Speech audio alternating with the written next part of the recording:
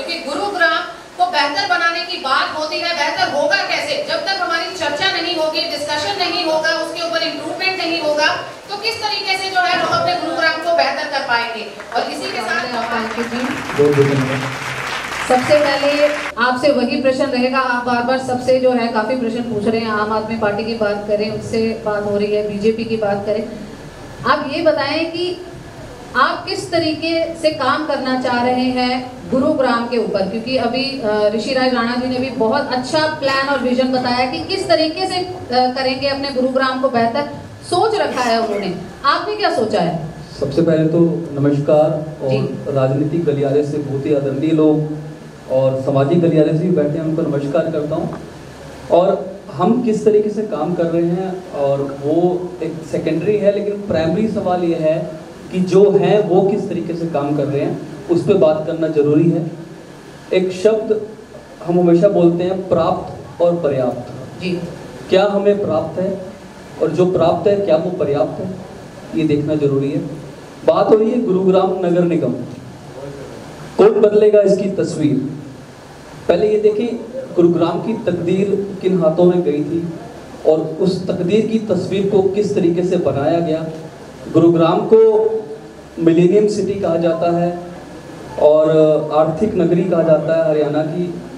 गुरुग्राम आज मैं अड़तीस साल का हो गया हूँ मैंने गुरुग्राम को सच में गुड़गांव से गुड़गामा से गुरुग्राम बनते देखा है।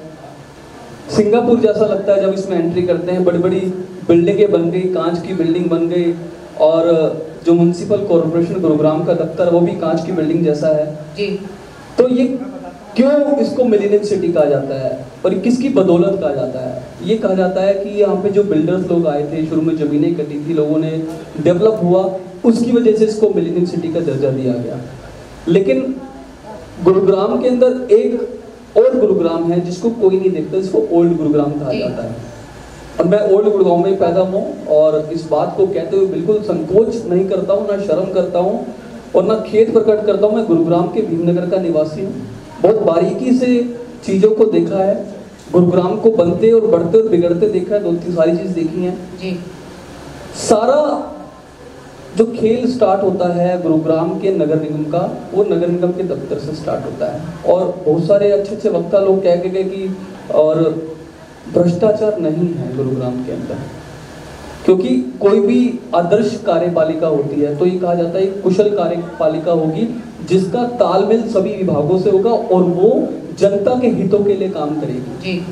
मैं शुरुआत करता हूँ इस बात की कि जब 2014 में भारतीय जनता पार्टी की सरकार आई थी पचहत्तर बार का नारा दिया था और बार बार वो अरोड़ा साहब भी बोल गए कि ना अब की बार कुछ ऐसा उन्होंने बोला था।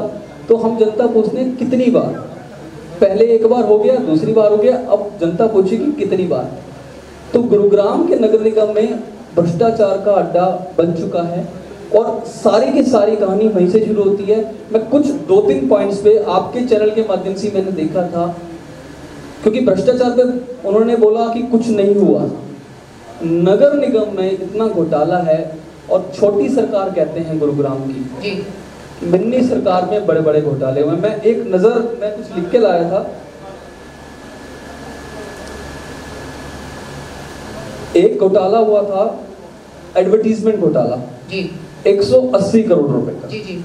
उसमें जो बिल्डर लोगों को ये अ, दिया था एडवर्टीजमेंट का विज्ञापन का तो वहाँ से टैक्स नहीं वसूला ये एमसीजी के ऑफिशियल ने खुद माना इस बात को। ये घोटाला हुआ और ये कह के इसको छुपा दिया गया कि, कि मॉल ऑनर्स के ऊपर हमने केस फ़ाइल कर दिया है। अब हम क्या करें? ये आप ही के चैनल के माध्यम से मैंने देखा था। क्योंकि मीडिया सच का आईना होता है। फिर स्ट्रीट वेंडिंग एक्ट के तहत एक स्ट्रीट वेंडिंग उसका घोटाला हुआ एम्प्लॉय स्कैम हुआ। ये सारे घोटाले आपके चैनल पे मिल जाएँगे गूगल पे मिल जाएँगे तो कहने का मतलब ये है कि स्टार्ट ये वहीं से होता है क्योंकि जनता हित की तो बाद में बात करेंगे पहले अपना हित तो कर लें अपनी कमाई तो कर लें और जिन जिन कंपनियों को ये ठेका देते हैं हर अधिकारी की नीचे से लेके ऊपर तक चाहे वो राजनीतिक संरक्षण प्राप्त हो इनको। सांठ गांठ के बिना कुछ नहीं होता है तो इस बार जो है जीएसकेपी किस तरीके से उतरेगी नगर निगम के चुनावों को लेकर क्योंकि आपने ऑलरेडी बहुत सारे प्रत्याशी अपने धरातल पर उतारे हैं क्या विजन क्या मिशन लेकर चलेंगे वो? देखिए जनसेवक क्रांति पार्टी जो धरतल पे आई है, गुरुग्राम से इसका जन्म हुआ है, मैं, मेरा ये मानना है कि समाज की बर्बादी तब स्टार्ट हो जाती है जब एक युवा और एक बुद्धिजीवी ये कहना शुरू कर देता है कि we hate politics but we can't afford कि पीपल शुड से कि वी हेट पॉलिटिक्स क्योंकि राजनीति आपका घर चलाती है, राजनीति आपका देश चलाती है। तो जैसे आपने देखा हमने हर वक्ता से सवाल पूछे और मुझे अच्छा लगता है सवाल पूछना क्योंकि सवाल पूछने से आपका ज्ञान भी बढ़ता है और यही जनसेवा क्रांति पार्टी धरातल पे कर रही है। हमने कोई प्रदर्शन नहीं किए सरकार के खिलाफ किसी को गाली गलोच नहीं किया किसी को कुछ नहीं कहा। हमने काम शुरू किया ओल्ड गुरुग्राम की ओल्ड कॉलोनियों में लोगों से मिले लोगों को जागरूक किया कि जिसने जो किया उसे माफ़ करो कम से कम अपना गुरुग्राम से खुद साफ़ करो और गुरुग्राम को बचाओ। किससे? उन नेताओं से जिनकी वजह से समस्याएँ उत्पन्न हुई हैं। समस्याओं से गुरुग्राम को बचाओ। लोगों को सिखाया कि मजबूर नहीं बनना है मज़बूत बनना है। सवाल पूछने हैं क्योंकि जब तक आप सवाल नहीं पूछोगे तो आप अपने क्षेत्र का विकास नहीं करा पाओगे। जनसेवा क्रांति पार्टी धरातल पे ये काम कर रही है। आपने जो पूर्व मेयर है, उनको कहा कि 10 में से ज़ीरो नंबर दे रहे हैं। आपको क्या लगता है? आपने जो अपने प्रत्याशी उतारे हैं मेयर पद के लिए। क्या वो 10 में से 10 नंबर ले पाएँगे अगर जनता मौका देती है? देखिए हमने 10 में से 10 नंबर नहीं दिए ना 10 में से ज़ीरो दिए। ये तो कहा, भारतीय जनता पार्टी के भारतीय जनता पार्टी के जो भी वक्ता लोग बैठे थे वो खुद ही बोल रहे थे कि पूर्व जो मेयर है साहिबा हैं उनको उन्होंने नंबर दिए। हमने तो उनको करेक्ट किया कि आप 10 में से 10 दे रहे हो या 10 में से ज़ीरो दे रहे हो। देखिए 2014 में भी यही बात होती थी कि सड़कें अच्छी नहीं है कूड़ा करकट है, चिकित्सालय नहीं है, कुछ नहीं है, यही बातें हो रही है। आज भी ये हो रही है। तो आपने आठ साल के कार्यकाल में कुछ नहीं करा और आपको ज़रूरत पड़ी, यही बातें सेम आके, चाहे वायरल सच के माध्यम से या कोई भी मीडिया के माध्यम से। और ऐसे कॉन्क्लेव तो अब अच्छे लग रहा अपना परिवार सा लगने लगा है कि जब सारे लोग आके चर्चा करते हैं गुरुग्राम को, एक अच्छा शहर बनाने का साफ़ सुथरा शहर बनाने का लेकिन मैं ये कहता हूँ कि अगर जो व्यक्ति चाहे संगठन में भी हो अगर उसकी सरकार गलत कर रही है तो उससे सवाल पूछने चाहिए। गलत कर रही है तो गलत कहना चाहिए। ये हम शुरू से कहते आ रहे हैं। जी तो अभी जो पार्षदों की हम बात करें तो कितने पार्षद जो है उतारेगी जीएसकेपी देखिए अभी जेजेपी ने बोला कि उनको चार साल हुए हैं और हमें तो सिर्फ़ जुम्मा जुम्मा डेढ़ साल ही हुआ है संगठन को बनाए हुए। और बाबा शाम के वक्त है और लोगों के आशीर्वाद से बहुत से युवा हमारी पार्टी से जुड़ रहे हैं बुद्धिजीवी लोग जुड़ रहे हैं पुराने लोग जुड़ रहे हैं संगठन बन रहा है और अभी तक हमने दो प्रत्याशी उतारे हैं क्योंकि क्लैरिटी नहीं है किसी भी चीज़ की। एक हमने अपने मेयर के लिए उतारा है और मेयर कैंडिडेट का भी आपने इंटरव्यू लास्ट टाइम लिया था। जी, जी। ऐसा कैंडिडेट है जिसको सच में ज्ञान है एडमिनिस्ट्रेशन का। ठीक है? और जिसको ज्ञान होता है वही काम करा पाता है। और हम लोग ऐसे झूठी बातें नहीं बोलते कि कट्टर ईमानदार ये ईमानदार। हम पढ़े लिखे लोग हैं शिक्षित लोगों को बताने की ज़रूरत नहीं होती है। उनकी कलम बोलती है उनके काम बोलते हैं। और एक हमारी वार्ड तेरह से प्रत्याशी। हैं स्वाति ग्रोवर। बहुत अच्छा काम कर रही हैं। लोगों को जागरूक कर रही है कि आप सवाल पूछो। लोगों और प्रशासन के बीच में एक पुल का काम कर रही हैं जो पार्षद लोग भी करते हैं। कि लोगों की आवाज़ को बुलंद करके वहाँ तक पहुँचा सकें प्रशासन में बैठे हुए अधिकारियों को उनकी ज़िम्मेदारी का एहसास करा सकें। ये काम हमारे प्रत्याशी हमारे संगठन के लोग हम लोग कर रहे हैं क्योंकि आज गुरुग्राम में ना नेता की ज़रूरत नहीं है। जी। गुरुग्राम को सेवक चाहिए जनसेवक चाहिए कि जिसके अंदर सेवा का भाव हो क्योंकि युवाओं के नाम पे राजनीति बहुत होती है। जी। युवाओं को राजनीति का शिकार बनाया जा रहा है। और मैं तो यही कहूँगा शिकार होने से बचिए राजनीति का हिस्सा बनिए। क्योंकि देश राजनीति से चलता है युवाओं को राजनीति में आना चाहिए। और बात बहुत कुछ लेके आया था क्योंकि घोटालों की लिस्ट बहुत लंबी है। आज मैं कूड़ा के ऊपर बात चल रही थी वो बंदवाड़ी के ऊपर। 38 मीटर ऊँचा पहाड़ बन चुका है। उससे प्रदूषण भी हो रहा है। जी। और जिस कंपनी को 22 साल 23 साल का ठेका दे दिया पहले तो ये पूछो 22 साल 23 साल का ठेका दिया किस बिना पे दिया? जी। मुख्यमंत्री जी ने खुद माना कि वो इको ग्रीन कंपनी काम नहीं कर रही है। जी। फिर इन्होंने एक सीएनडी जो कंपनी थी आई कंपनी थी जिसको इन्होंने लैंड भी दी कि ठीक है जी जो भी मलबा होगा वहाँ पे उसको आप टाइलें बनाओगे। और उससे लीज फाइनल करी। लीज का पैसा आज तक नहीं आ रहा। उसका क्या जवाब? दूसरी बात इस सरकार में पारदर्शिता नहीं है। एक पार्षद बोलता है कि मैंने अपने पाँच साल में अस्सी करोड़ लगाए।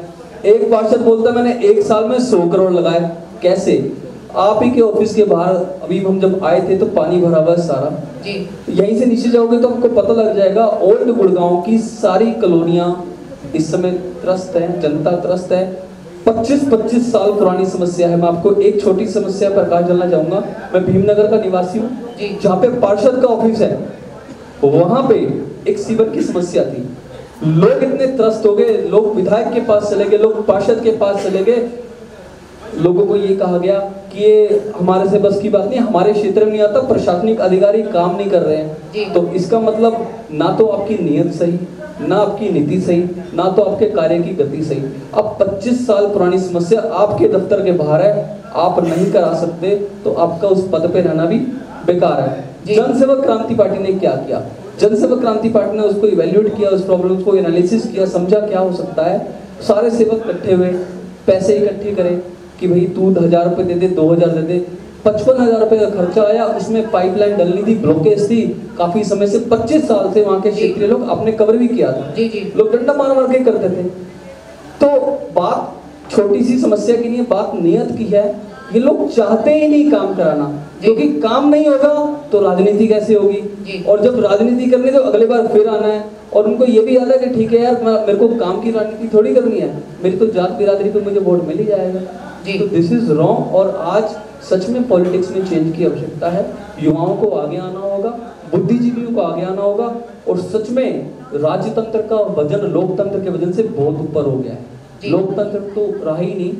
और मैं तो यही कहूँगा जनसेवक क्रांति पार्टी की तरफ़ से कि आप लोग सही को सही बोलें गलत को गलत बोलें समझें तोलें और फिर बोलें क्योंकि बहुत सी बातें हैं डिबेट भी जितनी मर्ज़ी कर लो आप जी, जी। की समस्याएँ समस्याएँ समस्याएँ सॉल्यूशन क्या है तो हमारे पास एक सॉल्यूशन भी है जनसेवक क्रांति पार्टी ने एक समाधान पत्र निकाला है जिसमें 27 पॉइंट पे हम लोग काम कर रहे हैं तकरीबन अगर मैं गलत नहीं हूँ तो 200 करोड़ रुपए एवरेज नगर निगम प्रॉपर्टी टैक्स के नाम पे कलेक्ट करता है। जी।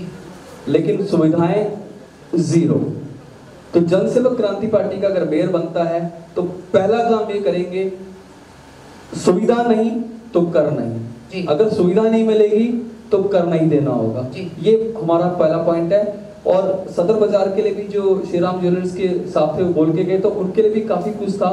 मैं समाधान पत्र आपको दे दूँगा क्योंकि शायद मुझे लग रहा है समय की सीमा है बहुत और बहुत ज़्यादा हो गया है। तो सौ बातों की एक बात राजनीति अशुद्ध है शुद्धिकरण की आवश्यकता है दूषित है।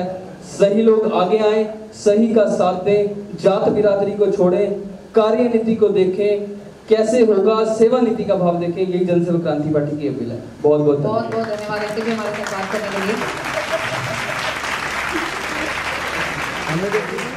बहुत ही कम शब्दों में अपनी बात को डिस्कस कर ले जाना एक वक्ता और एक डिबेट में बैठने वाले व्यक्तित्व का अपना एक अंदाज होता है।